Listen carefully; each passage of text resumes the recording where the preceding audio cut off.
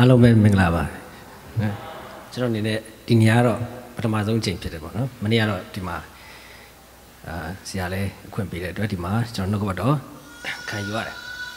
ပြင်ဆင်ပေးတဲ့ဖခင်နဲ့ဒီမှာအသင်းတော်မိသားစုအားလုံးလည်းကျေးဇူးတင်ပါတယ်နော်ကျွန်တော်နာမည်ကရဲကျော်သူဖြစ်တယ်အဲမိတ်ဆွေတွေကတော့ကိုရဲလို့ခေါ်တာပေါ့အဲ့တော့တချို့ကတော့ကျွန်တော်ညီကိုသိတယ်အဲကိုထွေးလို့ခေါ်တယ်ကျွန်တော်ညီကတော့ကျွန်တော်ညီကထောင်ထောင်မောင်းမောင်းဘယ်သူမှညီကိုမှမသိဘူးအဲဆို သူကနေတဲ့အကြီးပုံအကောင်ကြီးကကျွန်တော်ကတည်တည်လေးအကုန်လုံးကသူ့ကိုကျွန်တော်ဟိုတိတဲ့လူကလည်းသူ့ကိုအကိုလို့ထင်တယ်ကျွန်တော်ညီလို့ထင်တယ်အာဒီတိုင်းကြည့်ရင်တော့ညီအကိုမှမသိဘူးအဲကျွန်တော်ကအဲသူ့ထက်အသက်ကြီးတယ်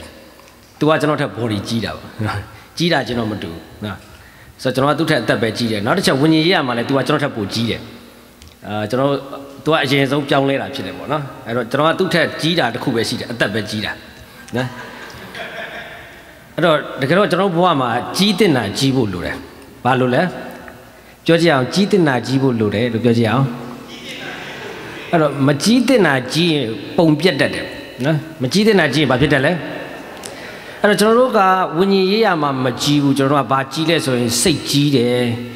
လောဘကြီးတယ်เนาะမောဟကြီးတယ်ကြီးတဲ့ဟာတွေမကြီးဘူးပေါ့အဲ့လိုအဲ့လိုပဲကျွန်တော်တို့ညီကိုနှစ်ယောက်မှာလဲကျွန်တော်ကအသက်ကြီးတာကလွဲပြီးတော့ကျန်တဲ့ကိစ္စတွေကမကြီးဘူးเนาะအဲ့တော့အာကျွန်တော်ညီကိုနှစ်ယောက်တော့ကြီးဆိုတော့ကျွန်တော်အဖျားရဲ့အမှုတော်ထဲမှာတော့ပါဝင်ရခွင့်ကိုရတယ်ပေါ့เนาะအဲ့တော့ကျွန်တော်နာမည်ရဲကျော်သူလို့ခေါ်တယ်ဆိုတော့ကျွန်တော်ကျွန်တော်ကအဖေပိုးကရင်အမေကဗမာဖြစ်တယ်ဇနီးတွေကတော့စကောကရင်ဖြစ်တယ်ပေါ့နော်တားလေးနှစ်ယောက်ရှိပါတယ်ကျွန်တော်ရောက်ကုန်မှာ South of Heaven Ministry ဆိုတော့အဲကျွန်တော်ရဲ့ ministry လေးရှိပါတယ်ဆိုတော့ကျွန်တော်မြန်မာပြည်ပါကျွန်တော်အမှုတော်ဆောင်ပါတယ်နော်ဖျားပြစ်စပေးတဲ့အတွက်ကျေးဇူးတင်တယ်အဲ့တော့ဒီကနေ့ကျွန်တော်ဝင်ငှချင်တဲ့နှုတ်ကပတ်တော်ကိုကျွန်တော်အနေနဲ့ဖတ်ချင်တယ်ဗျာဒိတ်ချမ်းခန်းကြီး21မှာပါတဲ့အရာလေးဖြစ်ပါတယ်ဗျာဒိတ်ချမ်းအရင်ဆုံးရောက်တဲ့အချိန်မှာပဲဗျာဒိတ်ချမ်းကောက်လှန်လို့မလတ်မှန်နဲ့လို့နော်နော်ဗျာဒိတ်ချမ်းတင်မှာမဟုတ်ပါဘူးလို့နော်ကဲဟုတ်ပြီဗျာဒိတ်ချမ်းခန်းကြီး21အငယ်9မှာပါတဲ့အကြောင်းအရာလေးကိုကျွန်တော်အနေနဲ့ဝင်ငှချင်တာဖြစ်တယ် နောက်ဆုံးသောဘေးနဲ့ခုနှစ်ပါးနဲ့ပြည့်သောဖလားခုနှစ်လုံးကိုဆောင်းသောကောင်းကင်တမန်ခုနှစ်ပါးတွင်တပါးသည်လာပြီးလေငါ့ကိုနှုတ်ဆက်၍လာခဲ့ပါတိုးတငယ်၏ခင်ပွန်းဒီဟုသောမင်္ဂလာဆောင်သူတို့သမီးကိုငါပြမည်ဟုပြောဆိုလျက်ကြီးမြတ်သောတောင်သူဝိညာဉ်တော်အားဖြင့်ငါ့ကိုဆောင်သွား၏တန်ရှင်းသောယေရုရှလင်မြို့သည်ဘုရားသခင်၏ဘုန်းတော်နှင့်ပြည့်စုံလျက်ဘုရားသခင်အထံတော်ကောင်းကင်ဘုံမှဆင်းသက်သည်ကိုငါအားပြလေ၏အဲ့ဒါဗျာဒိတ်ကျမ်းခန်းကြီး27အငယ်9ဖြစ်ပါတယ်အဲ့တော့ဒီကနေ့ဘုရားက ကျမ်းစာမှာပြောခဲ့ပြောခဲ့ပြောခဲ့သူ့ရဲ့ဘုန်းကိုသူ့ရဲ့ဂျေဇုတော်သူ့ရဲ့ဘုန်းတော်အားလုံးပြောခဲ့ပြီးတဲ့အခါကျပြီးတော့မှဗရိတ်ကျမ်းခန်းကြီး21လဲရောက်လဲရောက်ကောကောင်းကင်တမန်ခုနှစ်ပါးမှာတပားကနေပြီးတော့မှလာပြီးတော့မှဘာကိုပြမလဲဆိုပြီးတော့မှခေါ်လဲဆိုတော့တတို့သမီးတိုးတဲ့ငယ်ရဲ့ခင်ပွန်တိဟုတော်တဲ့မင်္ဂလာဆောင်တတို့သမီးကိုတဲ့ပြမယ်လို့ကျမ်းစာကပြောပါတယ်အဲ့တော့ဒီကနေ့ဖျားသည်သူ့ရဲ့ဘုံတော်သူ့ရဲ့ဂျေစုတော်သူ့ရဲ့တကိုးတော်သူ့ရဲ့အလိုတော်နဲ့အကြံစီကိုဒီနေ့ယုံကြည်သူအရောက်ရှိတိုင်းကို ထုတ်ပြထုတ်ပြထုတ်ပြထုတ်ပြရင်းနဲ့နောက်ဆုံးသောအချိန်မှာဖျားပြခြင်းတဲ့အရာကဘာလဲဆိုတဲ့အရာကိုဒီနေ့ကျွန်တော်နှုတ်ကပတ်တော်အဖြစ်ပြောချင်တာဖြစ်တယ်အဲကိုအကြောင်းပြုလို့မှကျွန်တော်အနေနဲ့သခင်ယေရှုခရစ်တော်ရဲ့ကျွန်တော်တို့အတွက်ပြင်ဆင်ထားတဲ့အရာလေးတစ်ခုကိုလည်းကျွန်တော်အနေနဲ့အာရင်ဖတ်ချင်သေးတယ်ရှင်ယောဟန်ခရစ်ဝင်ခန်းကြီး14မှာပါတဲ့အကြောင်းအရာလေးဖြစ်တယ်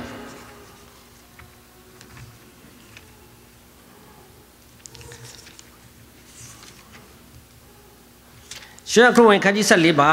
သခင်ယေရှုကဘာပြောလဲဆိုရှင်သင်တို့စိတ်နှလုံးပူပန်ခြင်းမရှိနဲ့ဘုရားသခင်ကိုယုံကြည်ကြလောငါကိုလည်းယုံကြည်ကြလောငါအဖ၏အိမ်တော်၌နေစရာအခန်းအများရှိ၏သို့မဟုတ်လေမဟုတ်ကြောင်းကိုသင်တို့အားငါမပြောဘဲမနေသင်တို့နေရာအရက်ကိုပြင်ဆင်ခြင်းကငါသွားရ၏အဲ့ဒါတို့သားတိဟုသောခရစ်တော်ရဲ့ပြောတဲ့စကားဖြစ်တယ်အဲ့တော့ဒီကနေ့ကျွန်တော်ဒီနေ့ပြောချင်တဲ့အရာကကျွန်တော်ယုံကြည်သူအယောက်စီတိုင်းကိုဘုရားကပြောထားတဲ့နှုတ်ကပတ်တော်ကဘာလဲဆိုလို့ရှိရင် သခင်ယေရှုခရစ်တော်ကိုမိမိကယ်တင်ပါရှင်အသက်သခင်ပြည့်ယုံကြည်လက်ခံတဲ့အခါမှာအသင်းတော်ဒီဟုသောခရစ်တော်ဤတို့သမီးဖြစ်လာတယ်ကျွန်တော်ယုံကြည်သူအယောက်စီတိုင်းဒီဘုရားကဘာလို့တတ်မှတ်ထားလဲဆိုရှင်ခရစ်တော်ဤပါလဲတို့သမီးအဲ့တော့တို့သားကဘာလို့လဲဆိုလို့ရှိရင်သခင်ယေရှုခရစ်တော်တစ်ချိန်ကြလို့ရှိရင်တိုးတငယ်တဲ့မင်္ဂလာဆောင်ပွဲမှာကျွန်တော်တို့အယောက်စီတိုင်းကဘာဖြစ်ရမလဲပါဝင်ရမှာဖြစ်တယ်အဲ့တော့ကျွန်တော်တို့သိရမှာကကျွန်တော်တို့အယောက်စီတိုင်းဒီခရစ်တော်ရဲ့ဘာလဲတို့သမီးဘာတွေလဲကျွန်တော်တို့ကတို့သမီးအသင်းတော်ဆိုတာခရစ်တော်ရဲ့တို့သမီးကိုပုံဆောင်တာဖြစ်တယ် အဲ့တော့ဒီကနေ့တတို့သမီးဆိုတာမင်္ဂလာဆောင်ခမ်းမနဲ့မင်္ဂလာဆောင်တတို့သားဘယ်ဟာကိုစိတ်ဝင်စားလဲမင်းမနော်တတို့သမီးကမင်္ဂလာဆောင်ခမ်းမနဲ့မင်္ဂလာဆောင်တတို့သားဘယ်ဟာကိုစိတ်ဝင်စားလဲတတော်သားကိုစိတ်ဝင်စားတယ်တတော်သမီးတစ်ယောက်အတွက်မင်္ဂလာဆောင်ခမ်းမကြီးခြင်းသေးခြင်းကအဓိကကြလားမင်္ဂလာဆောင်တတော်သားကအဓိကကြလားတတော်သားကအဓိကကြတယ်အယက်သမားစစ်စစ်တယောက်အတွက်အယက်ဆိုင်ကြီးခြင်းသေးခြင်းကအဓိကကြလားအယက်တော့ဖို့အဓိကကြလား ဖယားသားတယောက်အတွက်ဖယားเจ้าအကြီးသေးကအဓိကကြလားဖယားကိုရှ िख ိုးဖို့အဓိကကြလားဟာလေလုယာတချို့ကဖယားရှ िख ိုးဖို့အရေးဆိုလို့ရှိရင်ဖယားเจ้าကိုကြည့်တယ်ကြီးလားသေးလားတလိုက်ကြည့်တယ်လူနဲလားများလားကြည့်တယ်တတို့သမီးတယောက်ကမင်္ဂလာခမ်းမကြီးလားကျယ်လားစိတ်ဝင်စားတာလားတတို့သားရှိလားမရှိလားစိတ်ဝင်စားတာလားဟုတ်ပြီလားအဲ့တော့တတို့သမီးတယောက်ကဘာကိုပဲစိတ်ဝင်စားလဲဆိုရင်မင်္ဂလာဆောင်ခမ်းမထက်မင်္ဂလာဆောင်တတို့သားကိုပဲစိတ်ဝင်စားတယ် ချီဆောင်ခြင်းထက်ချီဆောင်မဲ့ပုံကိုပဲစိတ်ဝင်စားတယ်တချင်းဆိုခြင်းထက်ချီးမွမ်းခြင်းကိုပဲစိတ်ဝင်စားတယ်အတန်ထက်အသက်ကိုပဲစိတ်ဝင်စားတယ်ဟာလေလုယာအဲ့ကိုသိဖို့လိုလိမ့်မယ်အဲ့တော့ဒီကနေ့ကျွန်တော်ကဥပမာလေးနည်းနည်းထက်ထက်ပြောလေးရှိတယ်ဘာကြောင့်ဆိုကျွန်တော်ကအရင်ကအယက်သမားကျွန်တော်ကနော်အယက်သမားကနေကျွန်တော်ကပြောင်းနေတာအဲ့တော့အယက်သမားကကျွန်တော်ကအယက်သမားအစ်စ်မဖြစ်ခင်တော့ကစိုင်ရမ်းရွေးတယ် ဟုတ်ပြီနော်စိုင်လိုက်ရွေးတယ်အဲ့တော့တငယ်ချင်းကအယက်သမားနဲ့တငယ်ချင်းအယက်သမားနဲ့ပေါတော့ဟိုကအယက်တောက်ချင်နေပြီကျွန်တော်ကအယက်သမားမဟုတ်တဲ့အတွက်ကျွန်တော်ကဘာပဲရွေးလဲဆိုရင်စိုင်ရွေးတယ်အယက်ကိုမရွေးဘူးဘာကိုရွေးလဲစိုင်ကိုရွေးတယ်စိုင်သေးရင်မထိုင်ခြင်းဘူးကျွန်တော်ကဘာကြောင့်လဲဆိုတော့ကျွန်တော်ရဲ့အဓိကကကျွန်တော်ကအရက်မဟုတ်ဘူးကျွန်တော်ဆိုင်မဲကြည့်တာဘာဖြစ်လဲဆိုတော့ကျွန်တော်အရက်သမားမှမဟုတ်တာ အဲ့တော့အရက်ဆိုင်နဲ့ဝင်လို့ရှိရင်လည်းလေအရက်မတောက်ချင်ဘူးကျွန်တော်အမြီးပဲစားချင်တယ်ဒီလားအရက်ဆိုင်နဲ့ဝင်ဘာကြောင့်လဲဆိုတော့ကျွန်တော်အရက်သမားမှမဟုတ်တာအဲ့လိုနဲ့ပဲတဖြည်းဖြည်းနဲ့ကျွန်တော်အရက်သမားဖြစ်သွားတယ်အယက်သမားဖြစ်လာတဲ့အခါကြတဲ့အခါကျွန်တော်အရင်တုန်းကကျွန်တော်သူများကိုပြောခဲ့တဲ့အရာကျွန်တော်ပြန်ခံရတယ်အရင်တုန်းကကျွန်တော်ကအယက်သမားမဟုတ်တော့ကျွန်တော်ကစိုင်ရွေးတယ်အခုအယက်သမားဖြစ်တဲ့အခါကျွန်တော်စိုင်မရွေးတော့ဘူးကျွန်တော်ဘာပဲအဓိကဖြစ်သွားလဲအယက်ပဲအဓိကဖြစ်သွားတယ်အဲ့တော့အရင်တော့အယက်သမားမဟုတ်ခင်တော့ကကျွန်တော်ကဘာကိုပဲကြိုက်တယ်ဆိုရင်အမြီးပဲကြိုက်တယ် အရက်မကြိုက်ဘူးတစ်ချိန်လုံးအမြီးပဲစားတယ်ကျွန်တော်တကယ်ကြမယ်မင်းတစ်ချိန်လုံးအမြီးပဲစားတယ်စားမှာပေါ့ကအရက်မှမကြိုက်တာဘူးနော်အရက်ကြိုက်လဲကြိုက်လဲကြိုက်ကောအမြီးမစားတော့ဘူးဘာပဲတောက်တော့အရက်ပဲတောက်တော့တယ်အဲ့တော့အရက်သမားစစ်သွားတဲ့အခါမှာအရက်ဆိုင်အဓိကမကြတော့ဘာအဓိကကြသွားတယ်အရက်ကအဲ့ဆိုရက်သမားတယောက်ရဲ့ပန်းတိုင်ဒီအရက်ဆိုင်လားအရက်လားသူတို့သမီးတယောက်ရဲ့ပန်းတိုင်ဒီမင်္ဂလာဆောင်ခမ်းမလားမင်္ဂလာဆောင်သူတို့သားလားအဲ့ဆိုဖះသားတယောက်ရဲ့ပန်းတိုင်ဒီဖះเจ้าလားဖះလား ဟာလေလုယာအဲ့ဆိုရှင်အရက်သမားတယောက်မူးရတဲ့အကြောင်းရင်းကအရက်ဆိုင်နဲ့သူဝင်လို့မူးတာလားအရက်ကသူ့ထဲဝင်လို့မူးတာလားအဲ့ဆိုဖះသားတယောက်ထူးရတဲ့အကြောင်းရင်းကဖះเจ้าနဲ့သူဝင်လို့ထူးတာလားဖះကသူ့ထဲဝင်လို့ထူးတာလားအဲ့ဆိုအရက်သမားတယောက်ကအရက်ဆိုင်နဲ့ဘလောက်ဝယ်ဝယ်သူ့ထဲကိုအရက်မဝင်ရင်မမူးတကယ်တော့ဖျားသားတယောက်ကဖျားเจ้าနဲ့ဘလောက်ပဲဝင်ဝင်သူ့ထဲကိုဖျားမဝင်ဘယ်တော့မှမထူဘူးလားဟုတ်ပြီနော် အဲ့တော့ဒီနေ့ဆိုရှင်ကျွန်တော်လက်ထိတ်မှာကျွန်တော်အများနဲ့တောက်နေတဲ့ဆိုင်ရှိတယ်အခုတည်းရှိသေးတယ်ကျွန်တော်အဲ့ရောက်ကကမပြောင်းသေးဘူးရှင်လန်းနဲ့နာမည်ကမိုက်တယ်နော်နော်ပင်ပန်းလာရှင်လန်းအောင်လာပြီးတော့အဘာညာဘသူကကြပြားလေးပါရေးထားသေးတယ်အဲ့တော့အခုကျတော့ကျွန်တော်ကအမှုတော်ဆောင်ဖြစ်တဲ့ခါကျတော့တစ်ခါကျရင်လမ်းထိတ်မှာမိတ်ဆွေတွေလာရင်လက်ဖက်လိုက်တိုက်တယ်အဲ့လက်ဖက်ဆိုင်တွေလှမ်းကြည့်အဲ့ဆိုင်ကိုမြင်ရတယ်လက်ကုံရက်ဆိုလို့ရှိရင်အဲ့ဒီအရက်ဆိုင်မှာလာကြတယ်အမကားကြီးကားငယ်အတွေ့အတွေ့နဲ့တော့ကျွန်တော်ကြည့်တယ်ကျွန်တော်အရင်တော့ကဘဝကိုပြန်မြင်ရတယ်အဲ့တော့ကားကြီးကားငယ်အတွေ့အတွေ့နဲ့လာကြတယ်လာပြီးတဲ့အခါမှာတို့က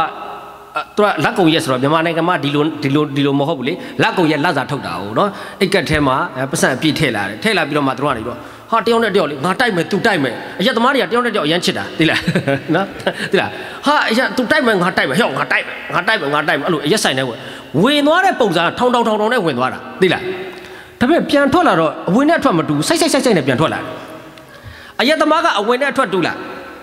မတူဘူးဝင်သွားတော့ကဘယ်လိုဝင်သွားလဲ ထောင်ထောင်ထောင်ထောင်ပြန်ထွက်လာတော့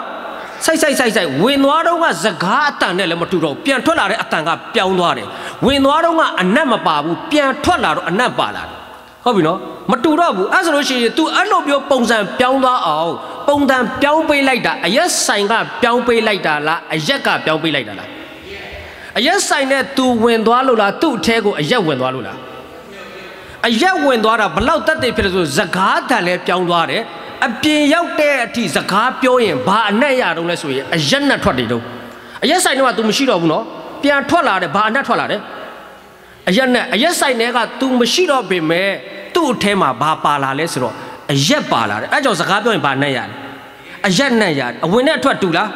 မတူဘူးထုံလေးတူပဲ Sunday ဆိုလို့ရှိရင်ဖရားသားသမီးတို့ဒီဖရားเจ้าကိုဝင်လာကြတယ်ထောင်ထောင်ထောင်ထောင်နဲ့ကဲပြန်ထွက်လာရောပုံစံပြောင်းသွားလား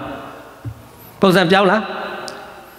ဖျားเจ้าနဲ့ဝင်လာပြီးသူ့အထဲကိုဖျားမဝင်ရင်အဝင်နဲ့အထွက်ကအတူတူပဲဝင်တော့ကလည်းဒီပုံပြန်ထွက်ရင်လည်းဒီပုံ ဟုတ်ပြီနော်အဲ့ဆိုရှင်ထူးလည်းမထူးဘူးမူးလည်းမမူးဘူးဟုတ်ပြီလားအရက်ဆိုင်နဲ့ဘလောက်ပဲဝင်ဝင်သူ့ထဲကိုအရက်မဝင်သွေးမမူးတကယ်သူဖះเจ้าနဲ့တင်ဘလောက်ပဲဝင်ဝင်တင့်ထဲကိုဖះမဝင်သွေးထူးစရာအကြောင်းမရှိဘူးထုံတိတူအရက်သမားဆိုတာအရက်ဆိုင်တွေကထွက်သွားရင်သူ့ထဲမှာအရက်ပါသွားတာဖြစ်တဲ့အတွက်ဇကားပြောရင်အရက်နဲ့ထွက်တယ် ဖះเจ้าနဲ့ဝင်လာတဲ့သူတယောက်ရဲ့အသက်တာပါသူ့အထက်ကိုဖះရောက်ပြီဟေ့ဆိုလို့ရှိရင်ပြန်ထွက်သွားရင်ဖះเจ้าတဲ့ကဘလောက်ပဲထွက်ထွက်သူ့ထဲမှာဖះပါသွားရင်ဇကားပြောရင်လည်းဖះအနံ့ရတယ်အာမင်ထူးကြနော်တချို့ကဖះเจ้าပြောလဲလူမျိုးရေးပဲပါတယ်ဖះเจ้าပြောလဲဇာတိပဲပါတယ်ဖះเจ้าပြောရင်ငွေเจ้าပဲပါတယ်တေးကြပြီဖះเจ้าဘလောက်ပြောပြောသူ့ထဲမှာနေရာရထားတာငွေပဲရတယ်သူ့ထဲမှာနေရာရထားတာဇာတိသူ့ထဲမှာနေရာယူထားတာကလူမျိုးရေးအဲ့ဒါကြောင့်စကားပြောလိုက်ရင်ဘာနဲ့မထွက်တယ် လူမျိုးရေးနဲ့မထွက်တယ်ဂိုင်းကနာနဲ့မထွက်တယ်ငွေချေးနဲ့မထွက်တယ်ဇာတိနဲ့မထွက်တယ်တရက်ကျွန်တော်ကမ်းပေါင်းလာတယ်လူတယောက်ကလမ်းလျှောက်တယ်လမ်းမပေါ်မှာလမ်းမပေါ်လျှောက်တယ်ဆိုတော့ကျွန်တော်ဟွန်းတီးတာလည်းမဖယ်ဘူးမူးနေတာအဲ့ဒီလူကအဲ့တော့ तू မဖယ်တော့ကိုဖယ်ရတာပေါ့ကျွန်တော်နောက်ချင်တာနဲ့မှန်လေးချပြီးတော့မှဟဲ့လူဘလို့ဖြစ်တာလဲတော့လမ်းတော့ तू ကကျွန်တော်ကိုကြည့်အေးစေးပေါ့အမဲ तू ကခုကျုပ်ကဖះနဲ့တရားနဲ့တန်ခါနဲ့နေတာလေဟာဆိုတာပြနော် တော့ကိုတော်လက်တော့မဆဲဘူးနော်ကျွန်တော်မဆဲလည်းမဆဲဘူးရိုင်းလည်းမရဘူးစကားပြောတယ်ဖျားတရားတန်ကအဲသူကပြောလိုက်သေးတယ်ဒါပေမဲ့သူကဖိကျွန်တော်ကိုပြောလိုက်တဲ့စကားကောင်းတဲ့စကားပဲပြောတာဖျားဆိုတာပါတယ်တရားဆိုတာပါတယ်တန်ကဆိုတာပါတယ်ဒါပေမဲ့ဖျားလို့ပြောလိုက်တဲ့စကားတန်နဲ့အတူတူအနတ်တစ်ခုပါလာတယ်အဲ့ဒါဘာနဲ့လဲအရက်နဲ့ဖျားလို့ပြောပေမဲ့သူ့ထဲမှာနေရာရထားတာဖျားလားအရက်တရားလို့ပြောပေမဲ့သူ့ထဲမှာနေရာရထားတာတရားလားအရက်လား အဲကြောင့်ဖျားဆိုတဲ့အတန်နဲ့တူတူသူ့အထဲမှာနေရာရတဲ့အရာအနက်မှာပါလာတယ်ထိုနည်းတူပဲကျွန်တော်နှုတ်ကပတ်တော်ဝင်ငါရဲ့လူမျိုးရေးနေရာရတဲ့လူကတရားဟောတဲ့လူမျိုးရေးပဲပါတယ်ဂိုင်းကနနေရာပေးထားတဲ့လူကတရားဟောတဲ့ဂိုင်းကနပဲပါတယ်ဇာတိကိုနေရာပေးတဲ့လူကတရားဟောတဲ့ဇာတိပဲပါတယ်ဖျားကိုနေရာပေးတဲ့လူကဘာပြောပြောဖျားအနက်ပါတယ်အာမင်ထူးကြအဲ့တော့ဒီကနေ့တတို့သမီးဆိုတာတတို့သားကိုစိတ်ဝင်စားတယ် မင်္ဂလာဆောင်ခမ်းမထက်မင်္ဂလာဆောင်သူတို့သားကိုစိတ်ဝင်စားတယ်အယက်သမားဆိုတာအယက်ဆိုင်တဲ့အယက်ကိုစိတ်ဝင်စားတယ်ဖျားသားဆိုတာဖျားเจ้าတဲ့ဖျားကိုစိတ်ဝင်စားတယ်ဟာလေလုယာအဲဆိုအယက်သမားတယောက်ဖျားเจ้าကိုအယက်သမားတယောက်အယက်ဆိုင်ကိုလာတယ်ဆိုတာကအဓိကပန်းတိုင်ကအယက်ဆိုင်လားအယက်လားအဲဆိုရှင်မင်္ဂလာဆောင်သူတို့သမီးတယောက်ရဲ့အဓိကပန်းတိုင်ကမင်္ဂလာဆောင်ခမ်းမလားမင်္ဂလာဆောင်သူတို့သားလားအဲဆိုရှင်ဖျားသားတယောက်ရဲ့အဓိကပန်းတိုင်ကဖျားเจ้าလားဖျားလားဟာလေလုယာ ကဲဆိုရှင်ရင်ကျွန်တော်တို့ဒီမှာရောက်စီတိုင်းမင်္ဂလာဆောင်မှုအဲမင်္ဂလာဆောင်မှုလေဆိုတာအပြူတွေကိုပြောတာမဟုတ်ဘူးတော့เนาะအဲ့တော့အားလုံးတော့မင်္ဂလာဆောင်ကြပါလိမ့်မယ်เนาะအဲ့ဒီမှာအိမ်တော်တွေအားလုံးကဲမင်္ဂလာဆောင်တဲ့အခါမှာဒီတိုင်းအဲ့ဒါကိုကကိုအိမ်လုတ်တွေလုတ်နေတဲ့မင်္ဂလာဆောင်မယ်ဆိုပြီးတော့ထထပ်ပြီးဆောင်လာဒါမှမဟုတ်ဘလို့ဆောင်ကြလဲအရေးဆုံးဘာလုပ်လဲမင်္ဂလာဆောင်သူတို့သမီးဘာလုပ်လဲအလှပြင်တယ်ဟုတ်တယ်နော်အလှမပြင်ပဲနဲ့မိဖို့ကြောင့်လေးကထွက်ပြီးဆောင်တဲ့သူရှိလား ဟမ်ဘယ်သူမှမဆောင်ဘူးအမေအဲ့ဒီအချိန်ကအရေးကြီးဆုံးပဲချိန်မင်္ဂလာဆောင်တတို့တပီးကအလှမပြင်ပဲဘယ်တော့မှဆောင်လို့မရှိဘူးဟုတ်ပြီနော်အဲ့တော့မင်္ဂလာဆောင်တတို့တပီးကဘာလုပ်ရလဲဆိုရင်အလှပြန်အဲ့ဆိုရှင်ကျွန်တော်ယုံကြည်သူအယောက်စီတိုင်းကိုခရစ်တော်ရဲ့အသင်းတော်ဒီဟူသောတတို့သမီးလို့ကျမ်းစာကသုံးလို့ပါတယ်အဲ့ဆိုရှင်ကျွန်တော်ဒီအသင်းတော်ဒီဟူသောတတို့သမီးဖြစ်တယ်ယေရှုခရစ်တော်ဒီတတို့သားဖြစ်တယ်အဲ့ဆိုတတို့သမီးနဲ့တတို့သားကပေါင်းဖို့ဆိုရင်ဘာလုပ်ရလဲ မင်္ဂလာဆောင်ရတယ်မင်္ဂလာဆောင်ဖို့ဆိုလို့ရှိရင်တတို့သမီးကဘာလုပ်ရလဲအလှပြင်ရတယ်တတို့သမီးကဘာလုပ်ရမလဲအလှပြင်မယ်အဲ့ဆိုတတို့သားကရောဘာပြင်မလဲတတို့သမီးကအလှပြင်မယ်တတို့သားကဘာပြင်မလဲအဲ့တော့ခုနကတော့ကျွန်တော်ဖတ်တဲ့ကြံပိုက်တင်တို့စိတ်နှလုံးပူပန်ခြင်းမရှိစေနဲ့ဘုရားသခင်ကိုယုံကြည်ကြလောငါကိုလည်းယုံကြည်ကြလောငါဖိုက်အိမ်တော်၌နေစရာအခန်းအများရှိ၏သို့မဟုတ်လည်းမဟုတ်ကြောင်းကိုတင်တို့အားငါမပြောဘဲမနေတင်တို့နေစရာအရက်ကိုပြင်ဆင်ခြင်းငါငါသွားရ၏ ငါဖရဲ့အိမ်မှာအခန်းအများကြီးရှိတယ်တဲ့ငါအခန်းသွားပြင်မယ်တဲ့ဟုတ်ပြီနော်အဲ့ဒါဆိုတို့သားကဘာသွားပြင်တာလဲအခန်းပြင်တို့သမီးကဘာပြင်ရမလဲပြောရအောင်တို့သားကအခန်းပြင်တို့သမီးကအလှပြင်ပြောကြည့်အောင်ဟုတ်ပြီနော်တတို့သားကဟိုမှာသွားပြင်နေတာတကယ်ယေရှုကပြန်ပြီးသွားနှက်နေတာမဟုတ်အိတ်နေတာမဟုတ်ဘူးအခန်းသွားပြင်နေတာကျွန်တော်တို့ကဘာပြင်ဖို့ဖျားလူတော်ရှိတာလဲ အလှပြင်ဖို့ဘုရားကလူတော်ရှိတာတော့အဲ့ဒီကျမ်းပိုက်တွေကကျွန်တော်အရခွန်အားရတယ်ခွန်အားရဆိုမမတ်ရရလည်းဖြစ်တယ်ကျွန်တော်အခုကျွန်တော်ဇနီးနဲ့အရင်တမိစားဘွားတော့ကတော့တမိစားဘွားတော့ကအဲသူကကျွန်တော်မေးဘူးတယ်သူကနော်သူကကျွန်တော်ဆရာလို့လည်းခေါ်တယ်အကိုလို့လည်းခေါ်တယ်နော်အကိုတဲ့မင်္ဂလာဆောင်ပြီးရင်ဗမာနေပါလေတဲ့ကျွန်တော်အဲ့တော့မှသူမေးမှစဉ်းစားမိတယ်တခါမှမစဉ်းစားဘူးကျွန်တော်ဗမာနေလို့နေမှာမသိဘူးနော်အဲ့တော့ဒါပေမဲ့အဲ့ကျမ်းပိုက်ကိုသွားသတိရတယ် ငါဖေရဲ့အိမ်မှာအခန်းတွေအများကြီးရှိတယ်ငါ့ကိုတခန်းတော့ပြီးမှာပါအဲ့ဒီကြမ်းပိုက်သွားတတိရတာနော်ငါဖားရဲ့အိမ်မှာနေစရာအခန်းအများကြီးရှိတယ်ဆိုတာလေနော်အဲ့တော့တကယ်ယေရှုခရစ်တော်ကခြံသွားခတ်နေတာမဟုတ်ဘူးနော်ကောင်းတယ်မှာခြံသွားခတ်နေတာမဟုတ်အခန်းသွားပြင်နေတာနော်တိုးဆိုရင်ခြံထဲထည့်ထားမှာသူတို့သမီးမို့လို့အခန်းပြင်တာဖြစ်တယ်ဟာလေလုယာဟုတ်ပြီနော်ကျွန်တော်ကတိုးဘွားကကိုမတက်ဘူးတလားတိုးရင်တိုးရင်နဲ့သိုးသွားပြီးတော့အဲ့ဒါတိုးတာမှအနတ်မှထွက်တယ်နော်နော်အဲ့တော့ဒီကနေ့ကျွန်တော်တို့က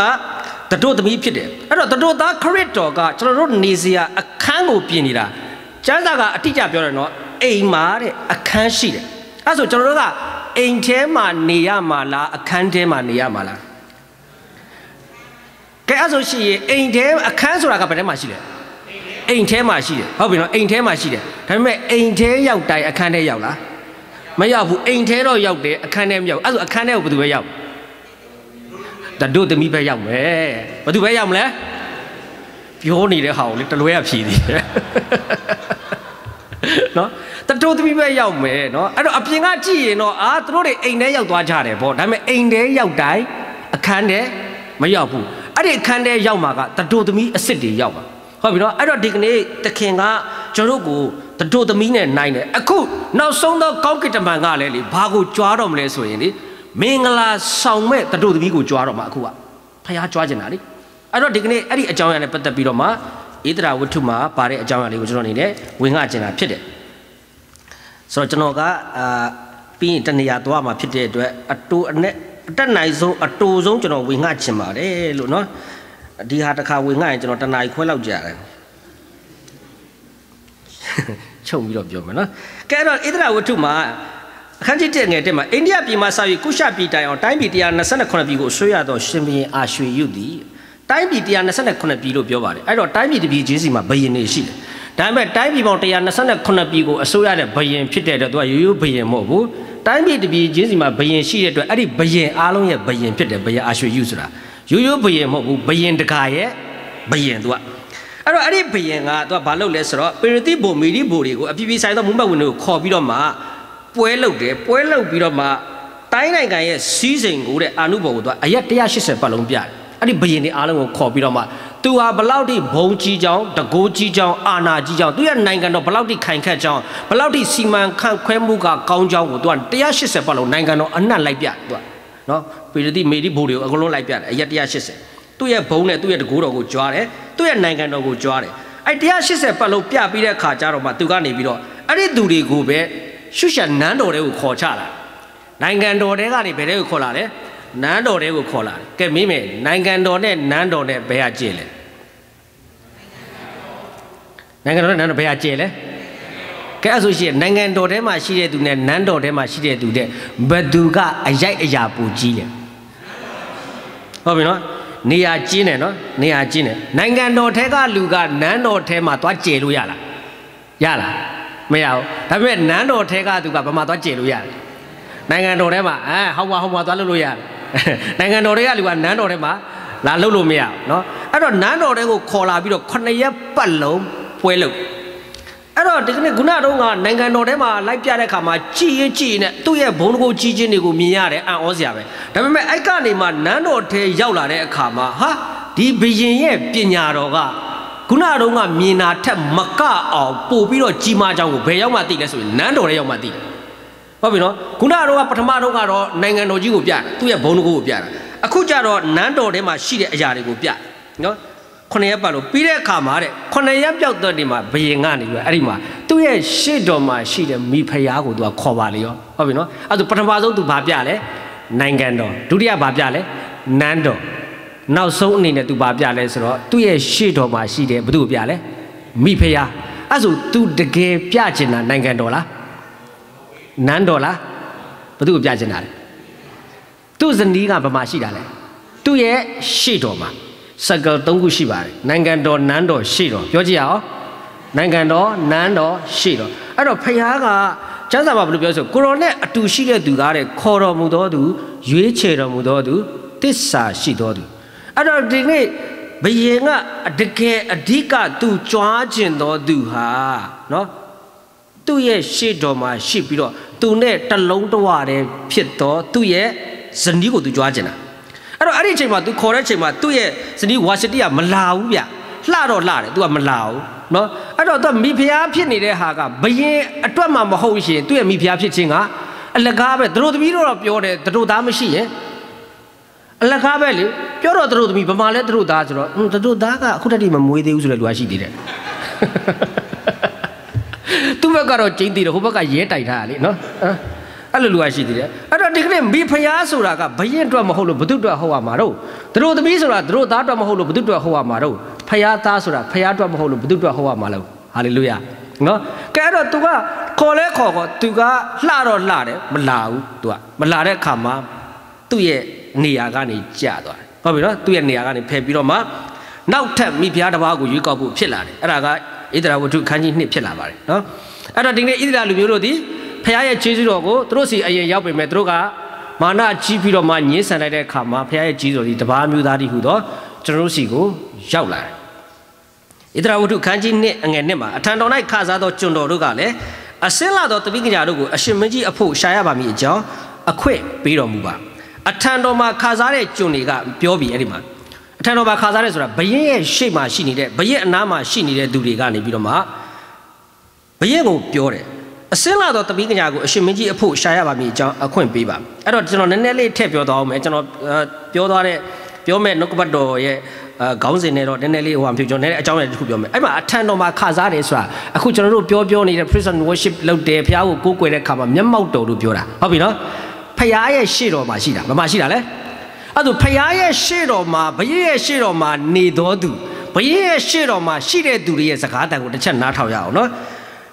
အထံတော်၌ခါစားသောကျွန်တော်တို့ကလည်းအစင်းလာသောတပိကညာတို့ကိုအရှင်မင်းကြီးအဖို့အရှင်မင်းကြီးအဖို့ရှာရပါမည်အကြောင်းအခွင့်ပေးတော်မူပါအဲ့ဒါဆိုချင်အထံတော်မှာခါစားတဲ့ကျွန်တွေရဲ့ပြောတဲ့စကားကကို့အဖို့ပြောနေတာလားကိုတော့အဖို့ပြောနေတာလား ကို့အလိုကိုပြောနေတာလားကိုတော့အလိုကိုပြောနေတာလားဟုတ်ပြီနော်အဲ့တော့ဒီကနေ့ကျွန်တော်တို့အရောက်စီတိုင်းဒီကိုလာတဲ့အခါမှာကိုလိုချင်တာတွေလာပြောတာလားကိုတော့အလိုတော်ကိုလာနားထောင်တာလားဟုတ်ပြီနော်အဲဆိုရှင်ကျွန်တော်တို့အတ္တတာမှာချိန်ထိုးကြည့်ဖခင်ရဲ့အလိုကိုသိတဲ့သူလားကိုလိုချင်တာပဲကိုသိတဲ့လူလားလို့သင်စဉ်းစားလိုက်လို့ရှိရင်သင်ဟာအထံတော်မှာရှိတယ်မရှိဘူးဆိုတာသိတယ်အထံတော်မှာရှိတဲ့သူတွေကဘသူရဲ့အလိုကိုသိနေလဲဆိုလို့ရှိရင်ဘယင်ဘာလိုအပ်လဲဆိုတာသိတယ် အထံတော်မှာမရှိတဲ့သူတွေကကိုဘာလိုတယ်သိတယ်အဲ့ဒါပဲသိတာတစ်ချိန်လုံးဒါပဲပြောတယ်ဘာလိုတယ်ညာလိုတယ်အဲ့တော့တချို့ကဘုရားကြောက်လာရင်ဘုရားရဲ့အိတ်ကပ်ပဲမျှော်ပြီးလာတယ်တချို့ကအိမ်ကိုမိဘအိမ်ကိုအထုပ်ဆွဲပြီးလာတဲ့သားနဲ့အထုပ်ဆွဲပြီးပြန်တဲ့သားဘယ်ဟာတင့်တယ်လဲကျွန်တော်တို့ကအထုပ်ဆွဲပြီးလာလားအထုပ်ဆွဲပြီးပြန်တာလား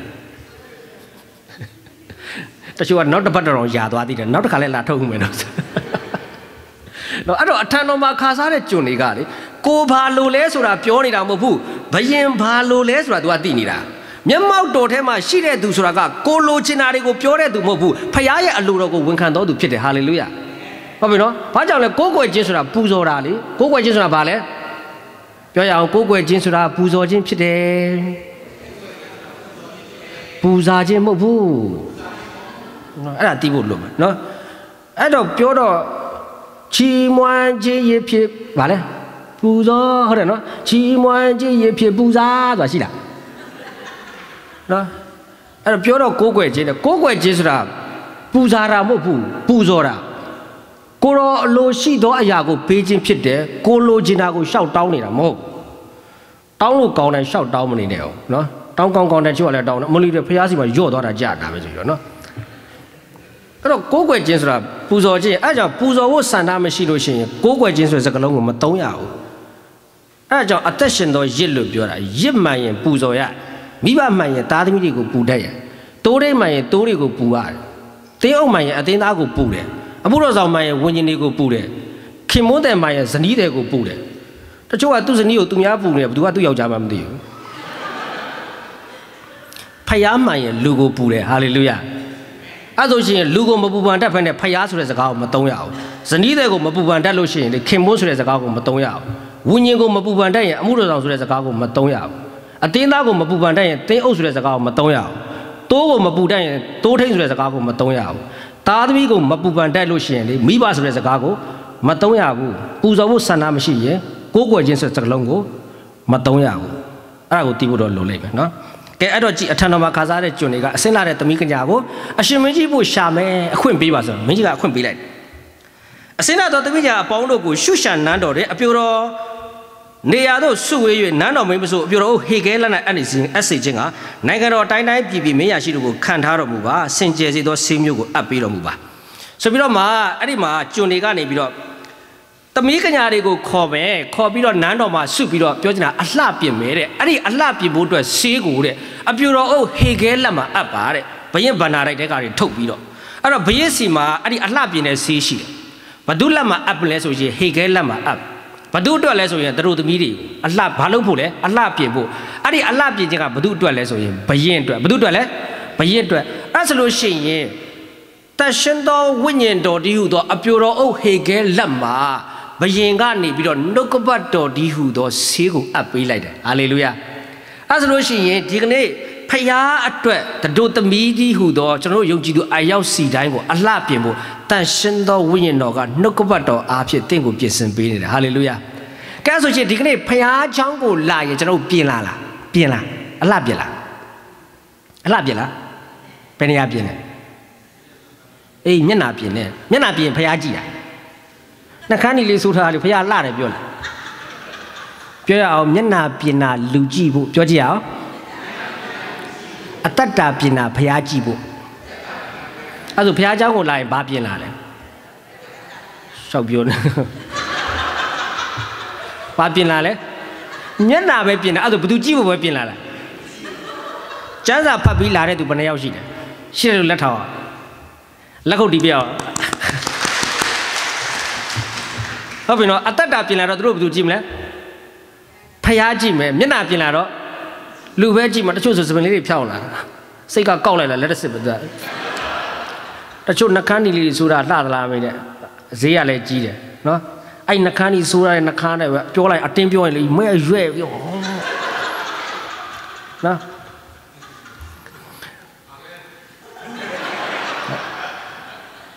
မျက်နာလှဖို့မိတ်ကပ်လို့တယ်နော်မျက်နာလှဖို့ဘာလို့လဲကဲပြောရအောင်မျက်နာပြင်နာလူကြည့်ဖို့အသက်တာပြင်နာဘုရားကြည့်ဖို့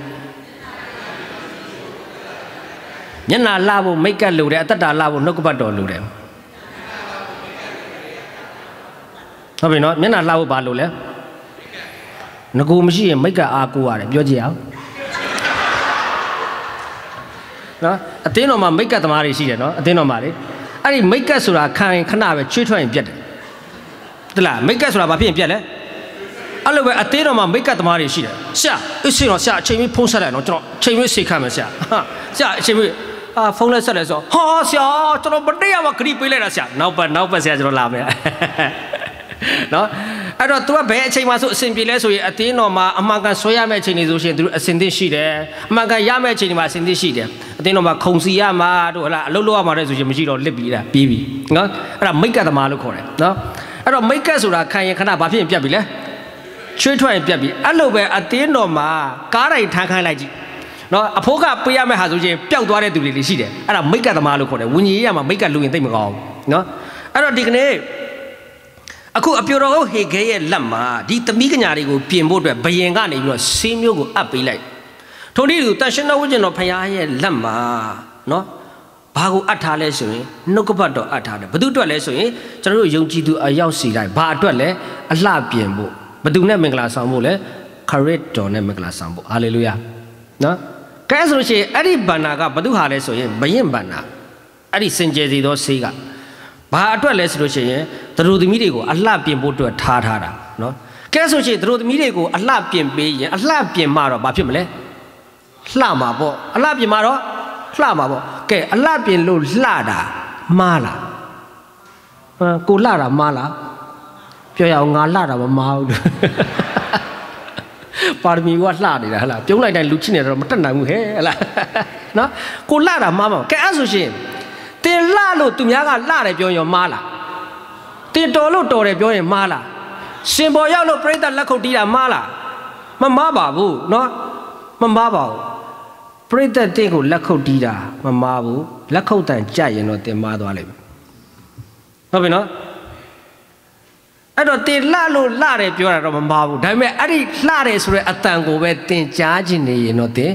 မှားသွားလိမ့်မယ်အခုသူ့ကိုပြင်ပေးနေရတဲ့အကြောင်းရင်းကမင်းကြီးမင်းသားတွေကဟဲ့ဧတတာနေလှလှကြည်လားလို့ပြောတဲ့အတန်ကိုသူကနေပြီးတော့တစ်ချိန်လုံးကြားချင်ဖို့အဲ့အတွက်ပြင်ပေးနေတာမဟုတ်ဘူးသူ့ကိုအလှပြင်နေပေးနေတာမင်းကြီးမင်းသားတွေအတွက်ပြင်ပေးနေတာလားဘယင်းအတွက်ပြင်နေတာလား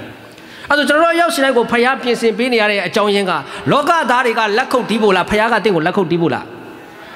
လောကသားတွေကတင့်ကိုအာမေထူးဖို့လားဖျားကတင့်ကိုတာဓုခေါ်ဖို့လား တကယ်စစ်မှန်တဲ့ကျွန်တော်ရဲ့ထာဝရကာလရဲ့အာမခံချက်ဆိုတာလူတွေရဲ့အာမေထူးချက်နဲ့မသွားဘူးဖျားရဲ့တာဓုခေါ်ခြင်းနဲ့သွားတယ်လိုက်ဆိုအောင်တာဓုတစ္ဆာရှိတော့ငယ်သားကောင်းအဲ့ဒါအောက်ကပြောမှလားအထက်ကပြောမှလားကျွန်တော်တို့အထက်တန်ကိုနားမထောင်ချင်ဘူးအောက်တန်ပဲနားထောင်တယ်နော်အဲ့တော့ဒီကနေ့အပြိုတော်ဟေကဲရဲ့လက်မှာအပ်ထားတဲ့ဆေးကသူတို့သမီးတွေအလှပြင်ဖို့အလှပြင်ပြီးရင်အဲ့ဒီအလှပြင်ခြင်းကဘရဲ့အတွက်ပြင်ရမှာလူတွေအတွက်ပြင်ရမှာမဟုတ်ဘူး လူအကြိုက်လဲလိုက်ပြင်ရမှာမဟုတ်ဘူးလူလက်ခုပ်တီးဖို့ပြင်ရတာမဟုတ်ဘူးနော်အဲ့တော့စပါးစို့အေးတတာကအလှပြင်တဲ့ခါမှာ तू ကလူအကြိုက်ကလူကအစိမ်းအောင်ကြိုက်လို့ तू အစိမ်းအောင်ဝင်ရင်လူကတော့လက်ခုပ်တီးမယ်ဘယင်မကြိုက်လို့ရှိရင် तू ညင်းပယ်ခံရမှာအဲ့တော့ तू ပြောမယ်ဟာတလောက်လူတွေလက်ခံနေတာကျမကိုကျမကျမလည်းကြိုက်တယ်လူလည်းကြိုက်တယ်နင်ဘာကြိုက်လဲအရေးမကြည့်ဘူးဘယင်ဘာကြိုက်လဲအရေးကြီးတယ်တင်ဘာကြိုက်လဲအရေးမကြည့်ဘူးဖယားဘာကြိုက်လဲအရေးကြီးတယ်အာမင်ထူးကြလူအကြိုက်နဲ့လိုက်မပြင်းနဲ့ဘယင်အကြိုက်ပြင်ရမယ်အာမင်ထူးကြ အဲ့ဒါကိုသိဖို့လိုလိမ့်မယ်အဲ့တော့ဒီကနေ့အဲ့ဒီစင်ကြယ်တည်သောဆေးမျိုးကသူတို့ကိုအလှပြင်တာဘယင်အတွက်ပြင်ပေးနေတာလူလက်ခံဖို့ပြင်ပေးနေတာမဟုတ်ဘူးဘယင်လက်ခံဖို့ပြင်တာလူကျင့်တတ်ဖို့ပြင်တာမဟုတ်ဘူးဘယင်ကျင့်တတ်ဖို့ပြင်တာဖြစ်တယ်အဲ့ဒီဟာကိုကိုသုံးဖို့သွားမလုပ်နဲ့မရဘူးနော်အဲ့တော့ဒီကနေ့ထွတ်မြောက်ရာကျမ်းအခန်းကြီး30မှာပါတဲ့အကြောင်းအရာလေးကျွန်တော်အနေနဲ့နည်းနည်းပြောချင်တယ်ထွတ်မြောက်ရာအခန်းကြီး30အငယ်39 38မှာထို့သောသောနတ်သားပေါင်းကိုဖော်သည့်ဤသူအခြားသောနတ်သားပေါင်းကိုကိုသုံးဖို့မဖော်ရ တင်တို့တွေထောင်ရဖျားဖို့တန်ရှင်းရမည်အကျဉ်သူသည်မိမိရှူစရာဖို့ထိုနတ်သားပေါင်းနှင့်တူအောင်ဖော်၏ထိုသူသည်မိမိအမျိုးမှပယ်ရှင်းခြင်းကိုခံရမည်ဟုမိန့်တော်မူ၏အဲ့တော့ဒီကနေ့ဖျားကကျွန်တော်တို့ကိုပြင်ဆင်ပေးတဲ့အခါမှာအသက်တာတွေအောင်မြင်လာတယ်အသက်တာတွေတန်ရှင်းလာတယ်အသက်တာတွေလှပလာတယ်ဟုတ်ပြီနော်အသက်တာတွေမင်္ဂလာဖြစ်လာတယ်ဒါပေမဲ့အဲ့ဒီအရာအားလုံးဒီကို့အဖို့လားကိုရောအဖို့လား ကိုရောအဖို့ဖြစ်တယ်ဆိုတော့ကျွန်တော်အမှုတော်ဆောင်တယ်ကျွန်တော်ရဲ့အမှုတော်ဆောင်ခြင်းကကျွန်တော်အစဉ်ပြေဖို့မဟုတ်ဘူးဖျားဘုံထင်ရှားဖို့ဖြစ်တယ်ကျွန်တော်ထင်ရှားဖို့မဟုတ်ဘူးဖျားထင်ရှားဖို့ဖြစ်တယ်အာမင်ထူးကြဟုတ်ပြီနော်အဲ့တော့ကျွန်တော်အမှုတော်ဆောင်တယ်ကျွန်တော်ချမ်းသာကြောင်းတက်တယ်ကျွန်တော် prison worship ဥဆောင်တယ်ကျွန်တော်ရဲ့လုံးသမျှဆောင်သမျှဒီဖျားရဲ့ဘုံတော်ထင်ရှားဖို့ဖြစ်တယ်ဘယ်သူမှတဲ့ကိုသုံးဖို့အဲ့ဒီနတ်သားဘောင်းကိုမဖော်နဲ့တဲ့ဖော်လို့ရှိရင်ဖျားရှိပါ ဖယ်ရှင်းခြင်းကိုခံရမယ်အဲ့တော့လူကအမျိုးမျိုးရှိတယ်ကျွန်တော်မနေ့ကအဲ့ဒီအရာလေးပြောတယ်တဲတော်ဝင်းထဲမှာကြီးရှိတယ်အိမ်တော်ထဲမှာရွှေရှိတယ်ရွှေနဲ့ကြီးနဲ့ကအယောင်တူတယ်တန်ဖိုးกว่าတယ်ဒီနေ့ကျွန်တော်ကျွန်မအရောက်စီတိုင်းလဲလောက်တာတူတယ်တန်ဖိုးกว่าတယ်သူလည်းအမှုတော်ဆောင်တာပဲကိုလည်းအမှုတော်ဆောင်တာပဲသူလည်း prison worship ဥဆောင်တယ်ကိုလည်း prison worship ဥဆောင်တယ်သူလည်းလူငွေထည့်တယ်ကိုလည်းလူငွေထည့်တယ်သူလည်းဖျားကြောင်တက်တယ်ကိုလည်းဖျားကြောင်တက်တယ်သူလည်းကျန်းစာကြောင်တက်တယ်ကိုလည်းကျန်းစာကြောင်တက်တယ်တက်တာတော့တူတယ်တက်ရတဲ့အကြောင်းရင်မတူဘူးဝါရာချင်းတော့တူတယ်တန်ဖိုးတူလားပြောရအောင်ဝါဝါမြင်နိုင်ရွှေမထင်နဲ့လို့ ဖះเจ้าရောက်တိုင်းဖះစီရောက်နေတယ်မထင်နဲ့လို့တချင်းဆိုနေတိုင်းချီးမွမ်းနေတယ်မထင်နဲ့မျက်လုံးမိတ်နေတိုင်းဆူတောင်းနေတယ်မထင်နဲ့တချို့ကအဲ့ဒီရတဲ့အချိန်ကိုကတ်အိတ်တယ်သူကရှိသေးတယ်ဆူတောင်းကြပါစို့ဆိုပျော်ပြီးသူအိတ်ပြီးသူကနော်အဲ့တော့ဝါဝါမြင်တဲ့ရွှေမတင်နဲ့တန်ဖိုးမတူဘူးအယောင်တူတာတန်ဖိုးกว่าတယ်အမှုတော်ဆောင်လာခြင်းတူတယ်တန်ဖိုးกว่าတယ် press worship ဥဆောင်လာခြင်းတူတယ်တန်ဖိုးกว่าတယ်အလူငွေထက်တာခြင်းတူတယ်တန်ဖိုးกว่าတယ်မတူဘူး အဲ့တော့တချို့တွေကဆိုဆိုဇက်ခက်တစ်ပေပေါ်တက်တာကဖျားကိုမြင်ဖို့လူစီပါကောင်းကင်ပေါ်တက်ချင်တာကလူတွေသူ့ကိုမြင်ဖို့တူလားတက်တာချင်းတော့တူတယ်တက်ရယူချက်တူလားမတူဘူးတချို့တွေကျန်းစာကြောင်တက်တာကကိုထင်ရှားဖို့တက်တာတချို့ကျန်းစာကြောင်တက်တာကဖျားထင်ရှားဖို့တက်တာတူလားမတူဘူးတချို့တွေအလူငွေထည့်တယ်ဆိုတာဖះကိုပါဝင်ရင်တို့ထည့်တာတချို့တွေအလူငွေထည့်တယ်ဆိုတာများများထည့်များများပြန်ရမယ်တဲ့များများထည့်များများပြန်ရမယ်တဲ့နော်ဘာလို့ထည့်တာလဲရကျင်လို့ထည့်တာတချို့ကပေးကျင်လို့ထည့်တာတူလား မတူဘူးထည့်ရင်တော့ရမှာပေါ့ရတာမရတာခဏထားလာထည့်တဲ့လူတွေကဘာနဲ့ထည့်လဲဆိုရှိရင်စစ်မှန်တဲ့သူကစေတနာနဲ့ထည့်တယ်ဘာနဲ့ထည့်လဲတချို့ကခွက်ပဲပါတယ်စီမပါဘူးအလူပဲပါတယ်စေနာမပါဘူးတချင်းမဲ့ဆိုတယ်မချီးမွမ်းဘူးဘုရားเจ้าမရောက်တယ်ဘုရားစီမရောက်ဘူးတရားဟောချက်ပဲနားထောင်တယ်နှုတ်ကပတ်တော်မပါသွားဘူးအဲ့ဒါကိုသိဖို့လိုတယ်နော်ပညာမဲ့တဲ့သူတို့သမီးတွေကမိုက်တဲ့သူတို့သမီးတွေကခွက်ကိုသာယူ၍စီကိုမယူကြတချင်းဆို၍မချီးမွမ်းကြ အလူသာထဲ့၍စေတနာမပါကြတရားဟောချက်သာနားထောင်၍နှုတ်ကပတ်တော်မခံယူကြဖះเจ้าသာရောက်၍ဖះစီမရောက်ကြနော်အဲ့တော့ဒီကနေ့အပြိုတော်ဟေခဲကသူတို့သမီးတွေကိုမလုပ်ပေးနေလဲအလှပြင်ပေးနေတယ်အဲဆိုရှင်တရှင်သောဝိညာဉ်တော်ဒီဒီကနေ့အသင်းတော်တည်းဆိုတော့ကျွန်တော်တို့သမီးတွေကိုအခုမလုပ်ပေးနေလဲအလှပြင်ပေးနေဘာလုပ်နေလဲအလှပြင်ပေးနေတယ်အဲ့တော့ဒီကနေ့ အလှပြင်တဲ့အကြောင်းလေးကိုကျွန်တော်ပြောမယ်ကျွန်တော်ဒီနေ့အတူချုံလေးပဲကျွန်တော်ပြောတော့မယ်နော်ကဲဟုတ်ပြီ မိန်းကလေးတွေတော်တော်များများကအလှပြင်မှုမှာပါနော်ကဲအဲ့အလှကကိုယ်တိုင်ပြင်တာနဲ့သူများပြင်တာနဲ့ဘယ်ဟာပူလှသူများပြင်ပြီးမှလှတာကိုယ့်ဘကိုပြင်တချို့ကကိုယ့်ဘကိုပြင်ပြီးကိုယ့်ဘကိုလှနေတယ်ဟဲ့ငါလှတယ်တဲ့ဘယ်သူပြောလဲအေးရက်ကွက်ကပြောတယ်ဘယ်လျှောက်ပြောနေလိုက်ဆိုတော့မိမိကိုယ်ကိုမချီးမွမ်းပဲသူတစ်ပါးချီးမွမ်းပါလေစေအဲ့ဆိုကိုယ့်အကြိုက်ပြင်ရမှာလားဘရင်အကြိုက်ပြင်ရမှာလားဘ ရင်အကြိုက်ကိုဘယ်သူသိလဲဆိုရင်အထံတော်မှာခစားသောဟေခဲကသိတယ်ထုံလေးတူပဲဖယားသခင်ဘာကြိုက်တယ်လဲဆိုတာကိုတန်ရှင်းသောဝိညာဉ်တော်ကသိတယ်ဟာလေလုယာအဲ့တော့ဒီနေ့ကျွန်တော်တို့အရောက်စီတိုင်းကကျမ်းစာဖိုင်လဲကိုကြိုက်တာပဲကိုဖတ်တာဟုတ်ပြီနော်ယောဘဝတ္ထုလို့ပြောလို့ရှိရင်လေဖယားသခင်ရဲ့အကျွမ်းဝင်ရဲ့မိသားရဖွဲ့လို့ထိုတို့ပြုမှကောင်းစားခြင်းတို့ရောက်ပြီအဲ့ကျမ်းပါပဲဖတ်တယ်ဟုတ်ပြီနော်ယောဘဝတ္ထုရဲ့ကီးကလေငါတို့ဒီဘုရားသခင်ရဲ့လက်တော်မှာဒုက္ခချမ်းသာကိုခံယူသည်ဖြစ်၍ဒုက္ခဆင်းရဲကို မခံယူရတော့ဘုရားကကြွားတာယောဘကိုအဲ့ဒါကြွားတာဒါပေမဲ့အဲ့ဒီကြံပိုက်ဆိုမသိဘူးဘာပဲသိလဲယောဘဝတ္ထုဆိုလို့ရှိရင်လေဘုရားသခင်ရဲ့အကျွမ်းဝင်ရဲ့မိသားရဖွဲ့လို့ထိုတို့ပြုမှကောင်းစားခြင်းတို့ရောက်ပြီအဲ့ဒီကြံပိုက်ပဲလူကလေအံ့ဩစရာကြီးကျမ်းစာဖတ်လဲကိုတွေ့ကျင်တာပဲတွေ့တယ်တရားဟောလဲကိုကြားကျင်တာပဲကြားတယ်ပြန်မေးဘာမှမမှတ်မိဟာတာပဲမှတ်မိတယ်ကျွန်တော်တရက်ကကျွန်တော်စီဆရာတယောက်ဖုံးဆက်တာကျွန်တော်ဒီမြောက်ခင်မြန်မာပြည်မှာမိုးကုတ်ရောက်နေ ဆရာကညနေကြရင်ကျွန်တော်ဆရာအိမ်တစ်ချက်လောက်လာခြင်းတယ်ကျွန်တော်မိုးကုတ်မှာပါဆရာလို့ဟုတ်ကဲ့ကျွန်တော်ညနေလာခဲ့ပဲလीတဲ့ခဏလေးပဲကျွန်တော်မိုးကုတ်မှာလို့ဩခဏလေးပါဆရာတဲ့ဟာမိုးကုတ်မှာဆိုအာဒီဆရာခဏလေးလေးတဲ့မရဘူးလားကျွန်တော်မိုးကုတ်မှာပြောတဲ့ခါဆိုဩတဲ့မိုးချုပ်မှာဆိုရင်မလာတော့ပါဘူးတဲ့ဟာ သူကကျွန်တော်မလာစီကျွန်တော်မိုးချုပ်ပဲလို့ပြောတယ်ထင်နေတာ तू ကသူနဲ့နီနီလေး तू ကအေးစိတ်မှာကျွန်တော်အောက်ဆန်းမှာခဏလေးပဲလာလိုက်လို့ရှိရင်ပေါ့နော်စကားလာပြောမယ်အဲ့တော့ကျွန်တော်ကမိုးချုပ်ပဲမိုးချုပ်ပဲဆိုသူ့ညင်းနေတယ်လို့ထင်တာ तू ကြားနေတာကျွန်တော်ကမိုးကုတ်လို့ပြော तू ကြားတာမိုးချုပ်တာလို့ကြားတယ်တကယ်အဲ့ဆိုရှင်ကိုပြောတာမှားတာလား तू ကြားတာမှားတာလား तू ကဘာလျှောက်ကြားလဲပြောကြည့်အောင်ကြားချင်တာကြားတာတခါကျသူများပြောတာအမှန်ကိုကကိုတလွဲလျှောက်ကြားတာ တခါကျသူများစေတနာအမှန်ကိုကကိုတလွဲထင်နေတာသိလားသူများကိုကိုပြောတာအမှန်ပြောတာကိုနားကကိုတလွဲလျှောက်ကြားတာကိုကသူ့ကိုဆူတောင်းပေးသွားတာကိုသူ့ကိုဆဲသွားတယ်ထင်တယ်တချို့ကလည်းအဲ့လိုမျိုးနော်အဲ့ဒါသူပြောပြီးမကြောက်ကျွန်တော် Facebook မှာ Facebook ဖွင့်ကြည့်လိုက်တော့ကျွန်တော်မိတ်ဆွေတယောက်ကရေးထားတယ်အမေသွားခဲ့ဘူးတဲ့နေရာလေးတွေမှာတဲ့မာတီဖိုက်တာစိတ်လိပ်ဘူးလေးတွေတွားရောင်းဖြစ်တယ်တဲ့။တွားဖြန့်ဖြစ်တယ်တဲ့။ ဒီလူကလည်းဖះအတွက်ပါဝင်နေသေးတယ်ပြောသေးတယ်တဲ့။ပြောသေးတယ်စိတ်လိပ်တွေရှောက်ရောင်းနေတယ်ကျွန်တော်စဉ်းစားတာသိလား။ကျွန်တော်တေချာမဖတ်ပဲနဲ့လေ။အမေသူ့အမေကတူနာပြုတူနာပြုတွားခဲ့တဲ့သူ့အမေတွားခဲ့တဲ့နေရာမှာတဲ့မာတီဖိုက်တာစိတ်လိပ်ဘူးလေးတွေတွားဖြန့်ဖြစ်တယ်ကျွန်တော်ဖတ်တာနော်။မဟုတ်သေးပါဘူးဆိုကျွန်တော်ပြန်ဖတ်ကြည့်တော့မှအဲ့လိပ်ဆိုတဲ့စကားလုံးမပါဘူးသိလား။ဆေးဘူးလေးတွေဖြန့်ဖြစ်တယ်လို့သူရေးထားတာ။ဒါပေမဲ့ကျွန်တော်ဖတ်လိုက်တာဘာသွားမြင်လဲ။စိတ်လိပ်ဘူးသူရေးတာမားတာလားကျွန်တော်ဖတ်တာမားတာလားဟုတ်ပြီနော် အဲ့ဆိုတကယ်ဆိုရင် तू မားတာလားကိုမားတာလား तू ဖြစ်တာလားကိုဖြစ်တာလားမနေ့ရတာမလို့ကျွန်တော်ပြောတယ်နော်ကျွန်တော်ကတွင်းပြတ်တော့ကျွန်တော်မိမလေးကျွန်တော်နေမကောင်းတော့ကျွန်တော်ချက်ကျွေးတာဆံပြုတ်ကျွေးတယ်စားလို့မကောင်းကျွန်တော်စိတ်တူသူ့ကိုစိတ်တူနောက်တစ်ခါ तू ကြာစံကြော်ကျွေးတယ်စားတာမကောင်းသူ့ကိုစိတ်တူနော်ဘာတွေရှောက်ချက်နေမလို့နောက်တစ်ခါထမင်းကြော်ကျွေးတယ်ကျွန်တော်သူ့ကိုစိတ်တူတကယ်တမ်းကျတော့ तू ချက်တာမကောင်းလားကျွန်တော် green ပြတ်နေတာလားဟုတ်ပြီနော်ကျမ်းမာရေးမကောင်းတော့ဘာစားစားစားလို့မကောင်းဘူး तू ကကောင်းကောင်းချက်ကျွေးတဲ့ဟာကိုကျွန်တော်ကကတွင်းပြတ်တော့မကောင်းဘူး အဲ့လိုပဲဝิญဉ်ရေးရမှာဖျားတဲ့ तू ကဘသူကြည့်ကြည့်ကြည့်လို့မရဘူးဟိုလူကြည့်လဲကြည့်မရဒီလူကြည့်လဲကြည့်မရဟိုလူကသူ့ပြုံးပြတာကိုသူ့ရွဲ့တယ်လို့ထင်တာ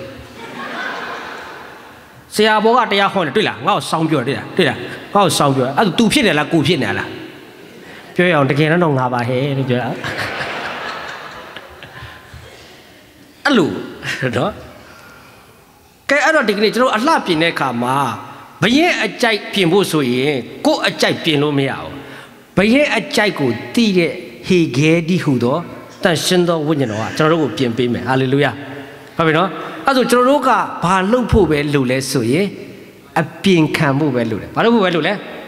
အဲ့ဆိုတန်ရှင်သောဝိညာဉ်တော်ကနှုတ်ကပတ်တော်အားဖြင့်ကျွန်တော်တို့ကိုဘာလုပ်ပေးမလဲအလှပြင်ပေးမယ်ဘု து အတွက်လဲတတို့သားသည်ဟူသောခရစ်တော်အတွက်ဘု து အတွက်မဟုတ်ဘူးလေ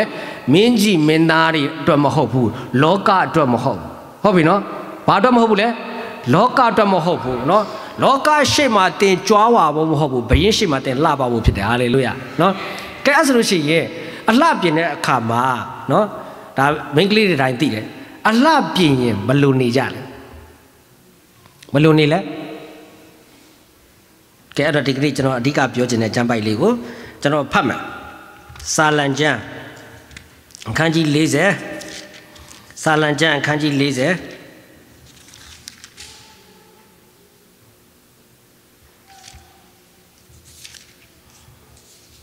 အခန်းကြီး40မို့46ခုမြောက်သောစာလံเนาะ46ခုမြောက်သောစာလံအငယ်30ကျွန်တော်တော့ကလိုက်ဆိုရအောင်ငြိမ်ဝတ်လျက်နေကြလောငါကဘုရားသခင်ဖြစ်သည်ဟုတိမှတ်ကြလောလူမျိုးတို့တွင်ငါသည်ဘုံပွင့်ပြီအဲ့တော့ကျမ်းစာကငြိမ်ဝတ်လျက်နေကြလောအဲ့ဒါကျမ်းစာက ဒါပေမဲ့ဘုရားစကားနဲ့တဲ့ပြောရင်ငြိမ်ငြိမ်နေလို့ပြောတာဗါတယ်တော့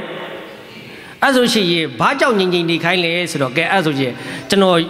ဒီခဲ့ဘူးတဲ့ရက်ကွက်ထဲကအမျိုးသမီးတစ်ယောက်ကြောင့်ကျွန်တော်ပြောမယ်သူကအရန်စွာတယ်စွာတာမှလေတရက်ကွက်လုံးသူနဲ့စကားမပြောရဘူးတစ်ကလေးဆိုရှင်တခုံးပြောလိုက်လို့ရှိရင်သူမပြီးတော့ပြောတာဘနဲ့ပြောတာအရန်လဲသူကလေသူများဟိုဆဲလဲဆဲတယ်သူကအဲ့တော့ဘ누구မှသူနဲ့မပြောရဘူးသူကတခုခုဆိုလို့ရှိရင်သူကလေသူများနဲ့ကြံမဖြစ်ရင်တယောက်တည်းတော့ရန်ဖြစ်တာသူကအဲ့လိုမျိုးနော် အဲ့တော့ तू ကအရန်ကျန်းတဲ့စကားပြောတာအရန်ကျန်းတယ်ကျွန်တော်အဲ့ဒီရက်ကွက်မှာခဏနေဘူးတဲ့တရက်တော့အံ့ဩစရာကြီးအဲ့ဒီအမျိုးသမီးကျွန်တော်ကအဲ့ဒီဈေးဘက်လမ်းလျှောက်တော့မိတူဆိုင်မဲ့သွားရင်းနဲ့အမျိုးသမီးတယောက်ကလေရန်တွေ့နေတာအမျိုးသမီးတယောက်ကတွေ့နေတာက तू တယောက်တည်းပြောနေတာတင်တာမဟုတ်အဲ့ဒီအမျိုးသမီးတယောက်ကအဲ့ဆိုင်တစ်ဆိုင်ထဲကိုလှမ်းပြောနေတာဆိုင်တစ်ဆိုင်ထဲမှာအမျိုးသမီးတယောက်ရှိတယ်ဘာတူလဲဆိုတော့ခုနကကျွန်တော်ပြောတဲ့အရန်စွာတဲ့အမျိုးသမီးအဲ့ဆိုင်ထဲမှာရှိတယ်ဘာဆိုင်လဲဆိုတော့အလှပြင်ဆိုင်သိလားအလှပြင်ဆိုင်တော့အဲ့မျိုးသမီးကဘာလုပ်လဲအလှပြင်နေတာ အဲ့တော့ဟိုမျိုးသမီးကအပြင်ကနေပြီးတော့နေပါဖြစ်တယ်ကြာဖြစ်တယ်တဲ့ပြောတာအော်စရာကြီးဟိုမျိုးသမီးကဘာမှပြန်မပြောဘူးတလောက်စွာတဲ့အမျိုးသမီးနော်ဘာမှပြန်မပြော तू ကအလှပြင်းနေတာ तू ဒီတိုင်းလှမ်းကြည့်နေအဲ့မှာကျွန်တော်သဘောပေါက်သွားတယ်အမျိုးသမီးတွေကိုစူကြည့်ရအလှပြင်းတဲ့အချိန်မှာစူလို့ရတယ်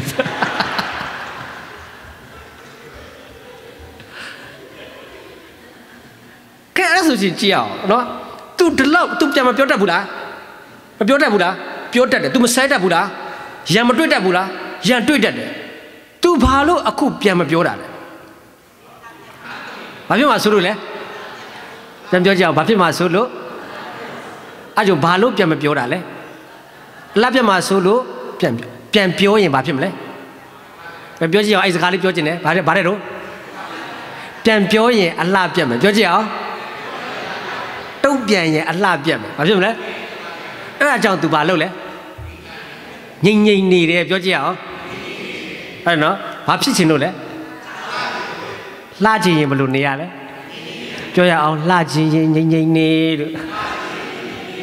ဘာလုပ်နေတဲ့အချိန်မလို့လဲအလှပြင်နေတဲ့အချိန်မလို့ဘာလုပ်နေတဲ့အချိန်လဲအလှပြင်ရင်ဘာလုပ်ရမလဲငိမ့်ငိမ့်နေလေသူ့ကိုနှခမ်းဒီဆိုးနေတာအခုအလှပြင်ပေးနေတာနှခမ်းဒီဆိုပါတော့နှခမ်းဒီကဒေါ်လာ1000တန်းတယ်ဟုတ်ပြီနော် ဒေါ်လာ1000နှခမ်းဒီဒေါ်လာ1000တန်းနှခမ်းဒီကနှခမ်းပေါ်ရောက်မှလှတာနှခေါင်းပေါ်ရောက်ရင်မလှဘူးဘလောက်ပဲတန်ဖိုးကြီးကြီးနေရာလွဲရင်အမိုက်ပဲအဲ့ဒါသိဖို့လိုမယ်ဟုတ်ပြီနော်ကဲဒါဆိုရှင်နှခမ်းဒီဆိုးနေတဲ့အချိန်မှာသူကနှခမ်းဒီဆိုအပြင်ကသူ့လာရန်တွေ့နေတာသူကပြန်ပြောမယ်ဆိုနေရကဘာပြစ်တဲ့ညာပြစ်ဆိုရှင်နှခမ်းဒီကဘယ်ပေါ်ရောက်သွားမလဲနှခေါင်းပေါ်ရောက်သွားမှာပေါ့ကဲဒါဆိုရှင်ဒီမှာမျိုးသမီးတွေအများကြီးရှိတယ်အလှပြင်တယ်နော်မင်္ဂလာဆောင်တော့ ကဲအကွယ်ရွေ့များအဲ့ဒီနှခမ်းဒီကနှခေါင်းပေါ်ရောက်တဲ့ခါမှာဖြတ်ပေးမှာပဲအလှပြင်တဲ့သူကလေမဟုတ်ဘူးလားဟမ်မဖြတ်နဲ့ဒေါ်လာတစ်ထောင်တောင်ပေးရတာအရင်တန်ဖိုးကြီးတာအဲ့တိုင်းသွားတဲ့သူရှိတာနှခမ်းဒီနှခေါင်းမှာပေးပြီးတော့အဲ့ဒီနှခမ်းနေတဲ့နှခေါင်းမှာဟမ်မလုံနဲ့ဒေါ်လာတစ်ထောင်တောင်ပေးရတာပြောတဲ့သူရှိတာဘလောက်ပဲတန်ဖိုးကြီးကြီးနေရလွဲပါလေအမိုက်ပဲ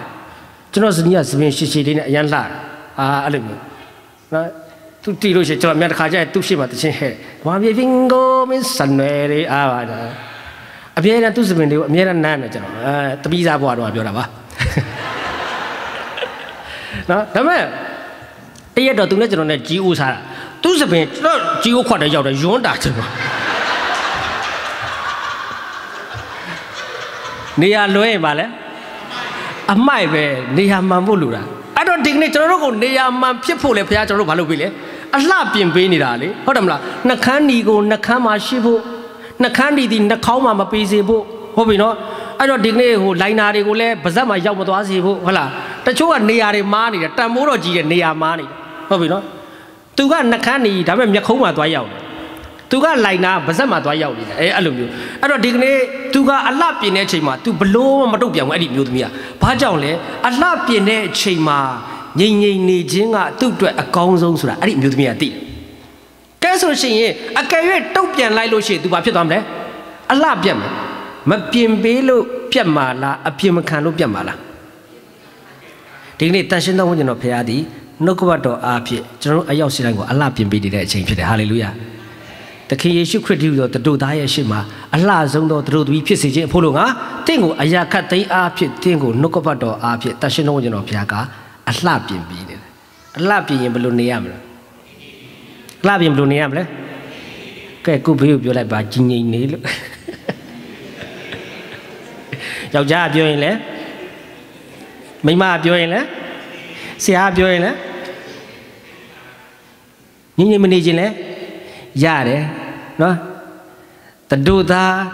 စိတ်လှုပ်ရှားမဲ့တတို့သမီးဖြစ်မလားတတို့သားစိတ်ပြတ်တဲ့တတို့သမီးဖြစ်မလားဆိုတာက တင်းငိမ့်ငိမ့်နေခြင်းမနေခြင်းနဲ့ပဲဆိုင်တယ်ဟုတ်ပြီနော်တချို့ကအလှပြင်းတဲ့အချိန်မှာအပြင်းမခံဘူးပြင်မခံတဲ့ရုပ်နဲ့မင်္ဂလာဆောင်ဖို့သွားတယ်သူတို့သားလန့်ထွက်ပြေးသွားပြေးလို့ပြဲတဲ့နဲ့လေရုပ်တည်းကနော်အပြင်းမခံမဲနဲ့လေနော်အပြင်းမခံတော့နှခမ်းနေရလဲနှခေါင်းပေါ်ရောက်နော်ဒါတွေကလည်းဒီပေါ်ရောက်နေနော်အဲ့တော့ဒီနေ့နှုတ်ကပတ်တော်အပြည့်ကျွန်တော်တို့ကိုအလှပြင်ပေးနေတဲ့အချိန်မှာ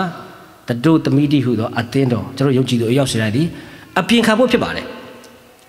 နောက်ဆုံးအနေနဲ့ပြောချင်တာကတော့ မင်္ဂလာဆောင်ပွဲကိုလာတဲ့အခါမှာအရောက်စေတိုင်းအလှပြင်လာကြလားကဲအဲ့ဆိုမင်္ဂလာဆောင်ပွဲမှာတို့သားရှိတယ်မင်္ဂလာဆောင်ပွဲကိုလာတဲ့မင်္ဂလာဆောင်တော့မှာရှိတဲ့သူ၃မျိုးပြောမယ်တတို့သားရှိလားတတို့သမီးရှိလားနောက်ဘယ်သူရှိသေးလဲပရိသတ်ရှိတယ်ပရိသတ်ရှိတယ်ဟုတ်ပြီနော်ကဲဆိုလို့ရှိရင်မင်္ဂလာဆောင်လာတဲ့သူတိုင်းကဒီတိုင်းလာလေးမရှိဘူးပြင်ဆင်ပြီးမှလာတယ်ဟုတ်လားဟဲ့